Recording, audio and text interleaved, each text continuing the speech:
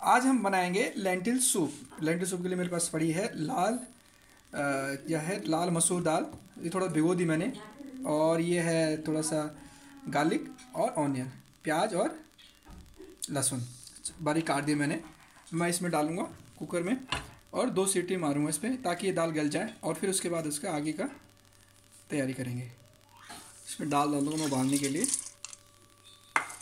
कम से कम दो सीटी, ज़्यादा नहीं।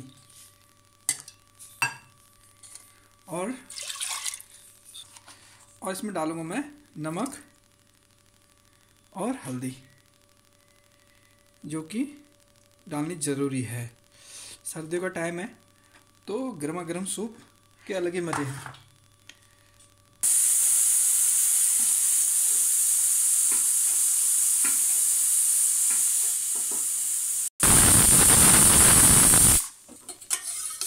अभी मैं इसमें डालूँगा हल्का सा तेल, ज़्यादा नहीं, सूप में ज़्यादा तेल नहीं डालने का, ज़्यादा तेल से सूप।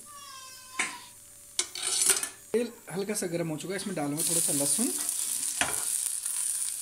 लहसुन डालने से सूप में अलग फ्लेवर आ था ज़्यादा नहीं जलाऊँगा इसको। बस थोड़ा सा प्याज।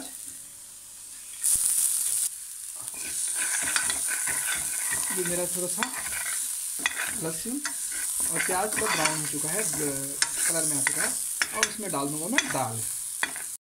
ये हमारा सूप रेडी हो चुका है। ये देखो।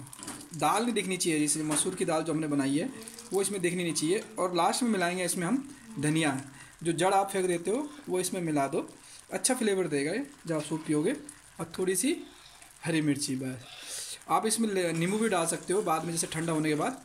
और अच्छा फ्लेवर आएगा। और थोड़ा सा जैसे ब्रेड होती है, रोटी पड़ी आपकी, रोटी फ्राई करके, सूप के साथ डाल के जैसे कोटन का, बनते हैं, वैसे ही बना सकते हो आप। ये देखो। ठंडे का टाइम में सूप के अलग ही टेस्ट आता है। ये हमारा सूप रेडी हो चुका है। ये हो गया हमारा सूप रेडी गर्मा गर्म सूप दाल का। ये अब पीने के लिए रेडी है। ट्राई करें रेसिपी को। बहुत इजी है सिंपल है। आज के लिए इतना ही। थैंक यू शुक्रिया। धन्यवाद।